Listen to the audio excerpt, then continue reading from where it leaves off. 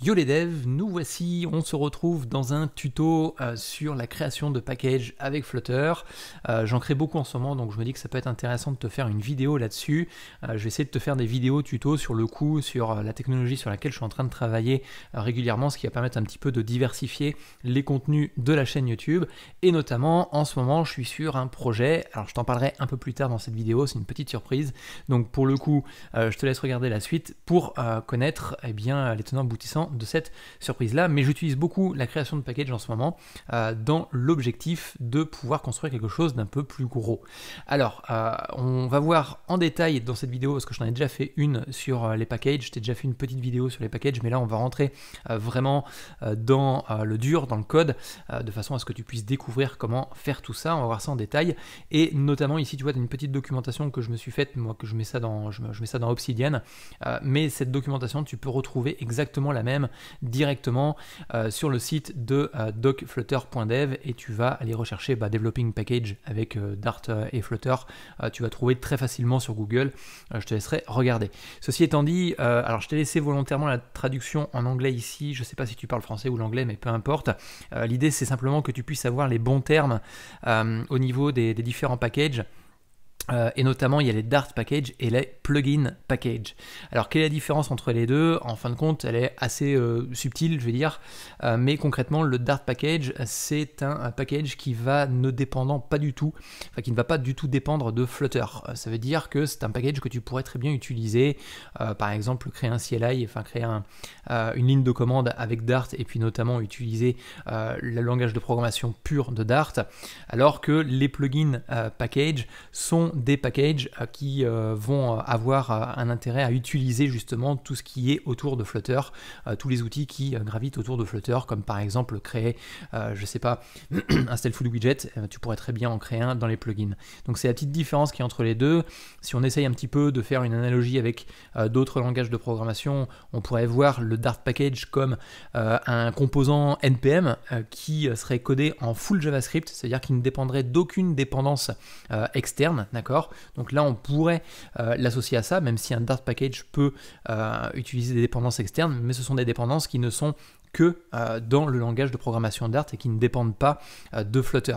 Alors que un plugin Flutter, bah là concrètement, tu serais associé à un framework par exemple, tu viendrais rajouter par exemple un une fonctionnalité à un framework et, euh, et, concrètement ça serait un plugin euh, donc euh, de ce côté là donc c'est un élément que tu viens rajouter dans Flutter et que tu vas pouvoir consommer dans Flutter. Alors ces packages là on va voir ça en détail dans cette vidéo mais tu vas pouvoir les publier directement sur PubDev. Alors ça passe par différentes étapes. Je vais te montrer ça un petit peu comment est-ce que moi je procède. On va voir ça vraiment en détail. Mais c'est ici que tu vas pouvoir retrouver en fin de compte les différents packages que tu peux peut-être déjà utiliser. Tu vois, par exemple, il y a Firebase Core, moi c'est un des packages euh, que je vais quasiment installer, euh, euh, comment dire, tout de suite sur, sur, sur une application Flutter, mais tu en as plein d'autres, d'accord, il en existe beaucoup d'autres. Tu as Flutter Local Notification qui te permet de créer des notifications locales dans ton application, donc c'est plutôt, plutôt sympathique comme, comme outil. Et donc il en existe plein. Alors, plutôt que de réinventer la roue, il est préférable de toujours aller chercher euh, les, packages déjà existants, comme ça, ça t'évite, toi, de ton côté, ça te permet de gagner du temps. Et justement, en ce moment, je suis en train de travailler sur un projet qui va me faire gagner du temps euh, par euh, la suite pour développer plus rapidement des, applications. Mais je t'en dirai un peu plus dans quelques instants. Et notamment ici, ce que tu vas retrouver, enfin, ce que tu vas pouvoir retrouver, c'est bah, différents packages. Package, par exemple, si tu tapes, je sais pas, notification, là, pour revenir un petit peu sur les notifications, tu vas pouvoir retrouver différents packages, notamment un package notification. Alors, je sais pas fait, et tu vas retrouver à chaque fois une documentation. Donc c'est ces packages-là, en fin de compte, que tu utilises et que tu viens intégrer dans tes différentes applications. Donc on va voir un petit peu comment est-ce qu'on peut publier ça euh, par la suite sur un PubDev dans cette vidéo. Euh, donc pour créer un package, moi je me suis fait ma petite documentation parce que euh, concrètement j'essaie de gagner du temps aussi. Euh, et notamment, ça se compose de la façon suivante. Tu vas avoir la commande Flutter, donc ça c'est un indispensable, il hein, faut que tu aies installé Flutter sur ta, sur ta machine. Tu vas avoir la commande create et plutôt que de faire un create project par exemple, enfin créer ton propre projet, on va aller rajouter des drapeaux, donc des flags, le flag template et le flag platform. Donc ces deux flags sont importants parce que, pardon, parce que euh, ça va te permettre de définir déjà si tu vas développer un plugin ou un package euh, avec Dart, ou euh, si tu vas avoir ton fameux package qui va être disponible sur différents OS, comme par exemple iOS, Android, Android, ou encore sur le web ou sur de la plateforme comme macOS ou Windows. Donc c'est le, flag platform qui va te permettre de faire ça. D'ailleurs, je te le dis ici, tu as les différents types, notamment je l'avais résumé ici au niveau de, du système de plugin. Donc ce sont des packages spécifiques et Flutter. Ce type de package dépendent euh, de euh, composants euh, de, Flutter et puis notamment bah, je vous fais une petite redirection vers Flutter derrière. Bon revenons-en au fait donc et le package bon pareil je t'ai fait une petite enfin j'ai fait une petite une petite explication là-dessus mais on en a déjà parlé donc je vais pas rentrer dans les détails. Donc ce que je vais faire moi c'est que je vais reprendre cette ligne de commande là hop là ici toc et notamment je vais aller dans mon terminal et je vais aller les coller. je vais changer ici donc le type ça va pas tu vois ici, j'ai les différents types, hein. j'ai plugin euh, ou package. Donc là, ce que je vais faire, c'est que comme je veux créer un plugin, je vais mettre un plugin à cet endroit-là. Hop là, euh, tac, tac. Euh. Voilà, je voulais zoomer un petit peu pour toi pour que tu vois un peu plus clair aussi. Donc là concrètement, on va avoir donc un template de type plugin et puis ici tu vas définir les OS sur lesquels tu veux travailler. Notamment, nous on pourrait bah, tout simplement travailler sur Android, euh, et puis notamment iOS. Mais si tu veux euh, rajouter macOS, tu fais macOS, si tu veux rajouter du web, euh, tu fais web ici, etc., etc. Bon, nous on va s'atteler simplement à ces deux plateformes-là pour ce, tutoriel-là. Et derrière, il va falloir eh bien, donner un nom de package. Alors moi ce que je vais faire, je vais mettre plugin underscore package test euh, encore une fois, il y a une nomenclature à respecter, euh, c'est tout en minuscule avec des underscores euh, pour le nom de ton package, et je vais faire entrer. Ce que va faire, eh bien simplement Flutter, c'est qu'il va te créer toute l'architecture, toute l'arborescence que tu vas pouvoir retrouver dans ton, dans ton package. Donc ça, ça prend, ça prend pas forcément trop de temps, mais concrètement, il importe un peu tout ce qu'il a besoin pour le faire. Mais plutôt que d'attendre un petit peu comment est-ce que c'est construit, moi je vais te montrer vraiment en détail dans un autre package que j'ai pu créer. Par défaut, tu vas avoir les différents dossiers que tu vois ici, d'accord? Euh, Mis à part ce dossier-là, le point GitHub, euh, oublie-le pour l'instant, ça, ça fera peut-être office de d'autres vidéos, mais concrètement, euh, tu as ces différents dossiers, donc c'est des dossiers que tu connais déjà en fin de compte, parce que si on regarde un petit peu comment est-ce que c'est construit, on se retrouve avec de l'Android, on se retrouve avec iOS, donc les deux plateformes qui nous intéressent, on a notre dossier build, on va avoir un dossier dossier de lib, un dossier de test, et puis euh, tous les petits fichiers qui vont bien, comme le pubspec YML, euh, un petit readme et tout ce qui va bien. Donc tu vois, tout ça, c'est des éléments qu'on va retrouver euh, déjà dans un projet Flutter de base. La petite chose qui va changer, c'est d'avoir ce fameux dossier example, où dedans, on va avoir un autre projet, et ce projet, c'est vraiment un projet Flutter, c'est tout ce que tu vas retrouver dans un projet Flutter. L'objectif, ça va être de pouvoir faire fonctionner ton package directement dans un exemple que tu as à l'intérieur. Alors je pense que j'ai fini d'importer euh, toute la planète voilà, sur ma machine. Je vais faire un petit ls pour regarder un petit peu ce qui se passe. Ici, j'ai mon petit package qui a été créé à cet endroit-ci. Donc, ce que je vais faire, c'est que je vais l'ouvrir dans Visual Studio Code. Et on va hop, rentrer un petit peu dans le dur. Je vais en profiter pour pouvoir hop, déplacer euh, ça dans mon package plugin ici. Voilà, et on se met à l'aise pour développer notre application. Donc là concrètement, ce que l'on a, c'est qu'on a un dossier de lib et c'est le dossier qui va nous intéresser le plus, d'accord? C'est vraiment le dossier euh, dans lequel on va travailler. Par contre, ce qu'on va faire, c'est que euh, euh, pour pouvoir voir le, résultat de notre travail, ce qu'on va faire, c'est qu'on va aller ouvrir le fichier main à la racine de example et ce qu'on va faire, c'est qu'on va le démarrer sur notre simulateur que je viens de mettre juste ici. Donc comme ça, ça va nous permettre justement de pouvoir eh bien, avancer sur notre package et puis euh, travailler un petit peu sur le rendu visuel derrière. Donc pour le coup, ici j'ai un petit euh, dossier, enfin j'ai un petit fichier de base, donc ce fichier de base reprend le nom euh, du, du, projet, du plugin, d'accord? Donc ici on a le plugin package test. Ici, ça va être le nom de notre plugin package test. Et puis notamment, euh, on va retrouver exactement la même chose au niveau des tests euh, unitaires ou des tests fonctionnels que tu pourras avoir derrière. Donc moi, ce que je vais faire, je vais faire un truc vraiment tout basique, d'accord? L'idée, c'est pas de réinventer un package euh, complet. Je vais simplement supprimer ces deux fichiers-là qui vont pas me servir et on va travailler uniquement là-dedans. Alors, les deux fichiers que j'avais juste avant, éventuellement pour pouvoir te montrer.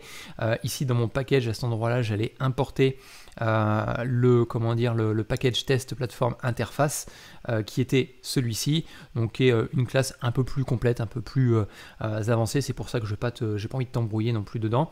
et notamment ici, on a d'autres informations qui sont associées à notre fameuse interface. Donc c'est pour ça que voilà, je ne veux pas rentrer dans le détail de ça. c'est pas quelque chose qui va être utile dans cette partie là. Alors, on supprime tout ça, hop là, on va faire un petit peu de ménage, euh, je vais supprimer les dépendances, et puis ce que l'on va faire, c'est tout simplement, on va créer une petite classe, donc, hop là, classe, euh, on va même faire directement STL, une stateless euh, classe, qu'on va après appeler plugin package donc ça, ça va être notre classe de base. Et ce que je vais faire pour simplifier un petit peu le code, je vais créer une petite fonction euh, juste à côté que je vais directement appeler dans mon interface graphique par la suite. Et notamment, euh, celle-ci, on va l'appeler widget euh, show plugin package test. Voilà, bah, très bien copilote nous fait le travail correctement, tu vois. Et donc là concrètement, euh, ce que l'on a, c'est que euh, j'ai euh, bah, tout simplement créé un package de type stateful widget ou stateless widget plutôt ici dans ce cas présent. Donc c'est quelque chose que tu connais déjà en fin de compte quand tu développes des interfaces. Et puis à l'intérieur, ce que je vais faire, bah, je vais mettre par exemple, hop là, un petit center, hop là, j'écris n'importe quoi, un petit center container, voilà Hop, et puis on va faire un coucou les devs. Pensez à vous abonner. Hop. Hop, on enregistre. Euh, je vais mettre un petit const à cet endroit-ci. Euh, pourquoi? Parce que j'ai un container. Qu'est-ce qu'il me veut là? Euh, Ah oui, unnecessary container. Donc oui, effectivement, on n'a pas besoin. Voilà, donc bon, c'est du petit code simple, mais c'est du code efficace. Donc ça, c'est une première chose. Donc l'objectif, c'est de créer une vue, euh, un rendu euh, qui, euh, va être, qui, va être d'afficher justement coucou les devs, pensez à vous abonner. Donc ce que je vais faire, c'est que pour éviter les petites erreurs à la noix, on va supprimer les tests. Alors ne supprime jamais les tests, bien évidemment, il faut en faire des tests sur ton application. Je te montrerai même que j'en fais moi de mon côté, c'est extrêmement important pour le maintien de ton application. Donc là, forcément, tu vois que dans notre projet, on retourne dans notre exemple, parce qu'on voudrait vous voir le rendu euh, à proprement parler euh, de euh, ce que l'on a fait comme travail extraordinaire. Et notamment ici, on a pas mal de petits problèmes. notamment, on a du mal à importer le get platform qui venait de notre ancien plugin que l'on avait créé. Donc moi, ce que je vais faire, c'est que je vais supprimer toute cette partie de code. Alors attends, que je fasse pas de bêtises. tac, tac, tac, tac, tac. J'ai mon build matériel qui est ici. Donc on va supprimer tout ça. Et à cet endroit-ci, plutôt que de faire un center texte, je vais aller chercher euh, mon plugin. Donc ça va être, je ne sais plus comment je l'appelais la méthode, je l'ai appelé show. Show plugin. Et je fais entrer. Et là, tu vois que j'ai directement importé, en fin de compte, euh, ce que j'ai euh, codé dans mon package directement dans euh, mon application. Donc c'est un petit peu comme ça que tu vas pouvoir procéder en fin de compte pour créer euh, tes propres plugins, tes propres packages. Là on est sur un package relativement simple, d'accord euh, Sur quelque chose de pas excessivement compliqué à mettre en place, mais faut bien se dire que des fois tu peux faire quelque chose d'un peu plus poussé. Notamment justement pour Nico Develop, ce que j'ai fait c'est que j'ai créé un repo officiel pour le coup, donc c'est pubdev slash publisher slash nico-du6develop.com et puis tu peux rajouter package mais si tu l'enlèves en fin de compte, tu es automatiquement redirigé et tu vas pouvoir retrouver les différents packages que je vais publier prochainement euh, qui permettent bah, tout simplement de, euh, de, pouvoir accélérer ton temps de production euh, de code ou d'accélérer ta production de code au niveau de tes différentes applications. Et tu vois qu'on retrouve exactement comment dire, les, différents packages que l'on pourrait retrouver. notamment, j'ai le, setting screen qui te permet de créer un package, enfin, comment dire, une interface de ce type-là et euh, tu peux très bien paramétrer euh, les choses de façon, bah tu vois, j'ai un setting screen, donc c'est une méthode que j'ai créée à la racine de mon package, et dedans, je lui passe un certain nombre de paramètres, notamment j'en passe deux majeurs ici, avec d'autres petits euh, sous-paramètres derrière, mais peu importe. Et l'objectif, c'est d'aller l'afficher dans notre application. Donc c'est plein de petits outils en fin de compte que je suis en train de, coder, de développer. c'est la, la, petite surprise de cette vidéo, tu vois. et notamment, je te mettrai un lien dans la description pour que tu puisses les retrouver. Mais euh, ce qu'il faut bien comprendre, c'est que voilà, c'est des packages que tu peux toi réutiliser, que tu peux intégrer dans tes propres euh, plateformes. Je te ferai des petits revues de packages de temps en temps pour que tu puisses euh, en savoir plus et savoir ce que j'ai développé. Mais déjà, moi, je l'utilise à mon niveau et je pense que tu pourras l'utiliser aussi à ton niveau. Alors, si on continue un petit peu sur le développement de notre fameux package, parce que pour l'instant on l'a codé, pour l'instant il est fonctionnel, hein, concrètement on n'a pas d'erreur, si je rafraîchis l'application on a quelque chose de fonctionnel. Et euh, ce qu'on pourrait se dire, bah, c'est maintenant, on aimerait bien publier en fin de compte euh, ce package-là euh, sur les différents stores. Donc je vais arrêter l'application, ça ne sert plus à rien. et puis notamment, on va regarder un petit peu comment est-ce qu'on peut procéder. Et notamment dans la documentation, encore une fois, tu peux retrouver tout ça. c'est tout à la fin, normalement. que je te retrouve ça. Tac, tac, tac, tac, tac, dans la documentation. pou, pou, pou, pou, pou. Voilà, donc bon, il y a plein de petites choses, je t'expliquerai. voilà, tu as deux commandes. Tu as cette première commande-là euh, qui est donc euh, Flutter Pub Publish, et notamment tu as un petit drapeau que tu peux rajouter par-dessus derrière, enfin par-dessus derrière, derrière, euh, pour le coup, qui est un dry run. Donc ça, ça te permet de tester en fin de compte la publication de ton package sans aller jusqu'à la publication à proprement parler. Alors tu vas me dire ça sert à quoi? Eh bien ça sert à tester que ton package soit valide euh, aux yeux du site de PubDev. Et ça, c'est extrêmement pratique euh, là-dessus. Et notamment, tu vois, on peut tester notre application. Tu vas voir qu'il y a potentiellement plein de petits bugs parce qu'il va nous manquer un certain nombre de choses. Voilà, si je lance euh, cette commande-là, ce qui va se passer, alors il est possible que toi de ton côté on te demande euh, de, euh, comment dire, de te connecter, tu auras besoin de te, connecter à un moment ou à un autre, de faire un Flutter Pub Login ou un Flutter Login je crois, avant pour pouvoir te connecter à ton compte Google et par l'intermédiaire de ton compte Google te connecter à Flutter Pub Dev. Mais là tu vois qu'il est en train de retracer un petit peu tout ça, le fait d'avoir mis le dry run derrière, ça permet d'avoir des petites erreurs. Notamment ici, on me dit, bah écoute, d'habitude, habituellement, euh, les packages Flutter dans le fichier PubSpec YML vont avoir une home page ou un repository. Donc si tu vas ici, dans Flutter paquet, enfin dans le PubSpec YML, euh, ici tu te retrouves avec home page. Et ici, tu vas pouvoir mettre le lien euh, de l'application sur laquelle tu veux euh, déployer justement euh, ton, comment dire, le, code à proprement parler, ou encore ça peut être ton site internet. Je vais te montrer ça sur un autre exemple sur lequel je suis en train de travailler en ce moment, c'est Show Confirm Modal. À cet endroit-ci, ce que j'ai fait, c'est que concrètement, le home page que l'on trouve ici, c'est l'URL GitHub où se retrouve le code source de l'application. D'accord? C'est à cet endroit-là que tu vas retrouver par exemple tout le code source de euh, show euh, confirm modal et notamment tu peux retrouver show confirm modal euh, directement dans, dans, la partie pubdev. Donc cette URL là, hop là, je vais me perdre un petit peu dans mes différents panneaux. Voilà, cette URL là est importante et notamment c'est recommandé par Flutter. Donc là, ce que je vais faire, c'est que pour l'exemple, je vais reprendre cette URL là, peu importe si c'est pas le bon repo. De toute façon, sur cette application là, on n'ira pas jusqu'au bout, mais je te montrerai sur une autre application euh, comment aller jusqu'au bout. Et on va relancer notre dry run. Et en théorie, alors là il nous dit qu'il n'y a euh, pas forcément d'erreur plus que ça, mais euh, dis-toi qu'il y en a une quand même, il y en a même deux erreurs. La première erreur, c'est qu'il va manquer un fichier de licence notamment quand tu vas faire, euh, quand tu vas le pousser directement. Alors je ne vais pas le pousser parce que j'ai pas envie de faire d'erreur non plus. Euh, j'ai pas envie de pourrir le, le, repo euh, officiel de Nico Develop. Mais concrètement, si tu enlèves le dry run, au bout d'un moment, il va te dire bah écoute, tu as normalement dans ton package un endroit. Voilà, la licence. Et dans la licence, tu as un to-do. Et euh, en fin de compte, tu vas te faire bloquer euh, par Flutter. Ici, il faut que tu mettes une licence. Donc la licence, euh, tu vas chercher une licence sur, Internet, tu recherches licence. moi, j'ai mis, je mets des licences MIT, ce qui permet à beaucoup de personnes de faire un petit peu ce qu'il ce du package, d'accord? Donc tu vois que ici, hop, je vais faire un row. Je vais reprendre toute la licence qui est ici et je vais la mettre dans le fameux fichier sur lequel je suis en train de travailler. Donc la licence va se retrouver ici, d'accord? Et notamment, il y a un dernier point sur lequel tu dois travailler, faire attention, surtout quand tu vas faire des montées en version, c'est le fameux changelog. Et là, encore une fois, tu as une to-do euh, qui va te bloquer. Donc là, concrètement, euh, ce qu'on va faire, c'est qu'on va mettre initial release avec la version 0.0.1. Il faut bien penser, pour être un petit peu cohérent, à avoir exactement la même version dans ton fichier euh, de versionning. Et tu vas avoir un dernier problème potentiellement, c'est que la description, comme elle est par défaut, et eh bien Flutter va te dire bah ça serait bien quand même d'en mettre une un peu plus euh, stylée, d'accord? Donc tout ça je l'ai fait et on, va, et on va le faire un peu plus en détail maintenant.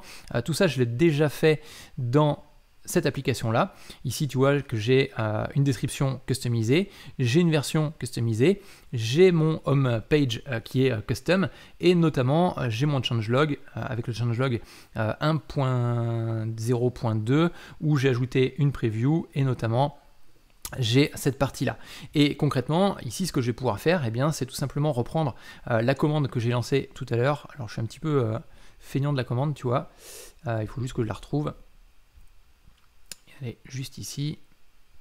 Je vais reprendre la commande, mais sans le dry run derrière, pour pouvoir pousser mon package euh, de façon euh, finale sur le, euh, comment dire, le repo officiel de NicoDevelop. Et donc, voilà, donc là on va me proposer, en fin de compte, on va me poser une question. Cette question c'est est-ce que je souhaite réellement rajouter une nouvelle version? Je vais faire un Y pour dire yes et notamment on va pousser tout ça pour mettre à jour. Et là tu vois que concrètement j'ai un successful euh, uploaded au niveau du package. Si on fait un petit tour sur ce package là, on va aller faire directement ici. Euh, tu vois que la version précédente, euh, j'avais pas de preview euh, de ce que pouvait rendre ce package là, et maintenant ce que j'ai, bah, c'est tout simplement la petite preview qui va bien avec le rendering qui montre ce que fait ce package là. Alors c'est pas des packages foufou, hein, faut, faut, pas s'attendre à avoir des trucs de dingo, mais ça rentre dans un tout simplement dans un ensemble de packages qui vont bah, tout simplement euh, me permettre d'accélérer la production des différentes applications, je partagerai ça avec toi, euh, et notamment par l'intermédiaire de d'autres outils, euh, permettre la création d'applications de façon beaucoup plus productive. donc voilà un petit peu comment est-ce que tu peux déjà toi commencer à mettre un pied dans la productivité, parce que ça c'est extrêmement important, c'est-à-dire que concrètement, tu vois, le, le, show confirme modal, c'est tout simplement une, comment dire, un widget qui va te dire est-ce que tu veux réellement par exemple supprimer ou pas, ou est-ce que tu veux réellement effectuer cette action ou pas. Euh, sur, euh, sur, euh, sur, bah, sur l'action que tu es en train de produire dans Flutter. Alors il y a déjà quelque chose d'existant, notamment tu as le show dialogue ou le modal dialogue, je sais plus, ou dialogue modal, je ne me rappelle plus dans quel sens c'est, mais concrètement ça existe déjà. Mais là je l'ai customisé de telle sorte à ce que ce soit vraiment associé à la confirmation et que je n'ai pas à retravailler derrière sur ce type d'outils. et notamment j'en ai créé d'autres qui sont sur le même principe, notamment le About Screen, qui permet de créer tu sais, la, page à propos qu'on peut retrouver dans les applications, qu'on ne fait quasiment jamais ou qu'on oublie de faire ou euh, qui est toujours un petit peu chiante à faire. Et bien là, concrètement, euh, simplement en mettant un About Screen euh, dans un scaffold, d'accord, dans le body d'un scaffold, et bien concrètement, tu te retrouves avec les différents éléments essentiels de ton application pour faire ta page About et boum, c'est terminé tu as juste quelques lignes de code à mettre en place. Tu vois, tu pas tout un écran euh, à refaire. Donc c'est plein de petits outils en fin de compte que tu peux faire. Et moi, ce que je te recommande, j'en parlais dernièrement euh, sur mon canal Telegram. Alors, canal Telegram, tu peux y accéder euh, gratuitement. Tu as un lien dans la description qui te permet d'y accéder ici. Et ce matin, j'ai fait un podcast justement qui t'explique comment est-ce que tu peux eh bien, optimiser ton temps. Je te donne des astuces pour optimiser ton temps de telle sorte à ce que tu puisses bah, justement améliorer la, comment dire, ta performance en termes de création d'applications parce que si tu as plein d'idées d'applications, moi je sais que j'en ai toujours euh, plein et je suis toujours un petit peu, euh, comment dire, euh, ralenti, toujours sur quelques phases qui au final sont des phases qu'on a déjà réalisées, qu'on a réalisées plusieurs fois et peut-être des dizaines de fois. Et bien là, l'idée, c'est tout simplement d'optimiser tout ça. Alors je t'en parle plus longuement dans le podcast, donc je vais pas refaire tout ça ici, mais tu vas pouvoir retrouver ça directement dans le canal Telegram. Tu as un lien dans la description qui te permet de t'inscrire à ma newsletter et juste après ton inscription, tu vas pouvoir être dirigé sur ce canal-là. Et je te partage plein d'autres euh, petites astuces, plein d'autres petits euh, éléments, des packages, enfin des, euh, applications sur sur lesquelles je suis en train de travailler, et puis notamment pas mal d'autres astuces, des petites vidéos, des extraits de formation, pas mal de choses dessus, donc n'hésite pas à aller faire un tour si tu veux progresser dans le développement d'applications. En tout cas, j'espère que cette vidéo, tu l'as appréciée, j'espère que tu as appris plein de choses, donc n'hésite pas à me le signifier, soit en commentaire, soit en mettant un petit like, et je te dis à plus tard dans une prochaine vidéo. Ciao, bye.